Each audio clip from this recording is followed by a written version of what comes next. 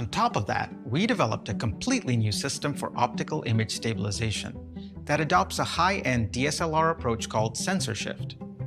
Sensor shift applies stabilization to the sensor instead of the heavier lens to precisely control motion in X and Y while maintaining sharpness.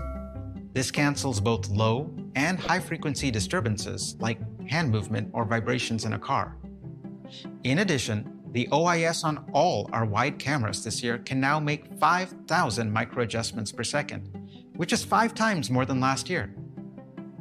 Along with motion processing advancements, we get stabilized exposure times of up to two seconds in low light for handheld shots, equal to a full f-stop increase in light gathering.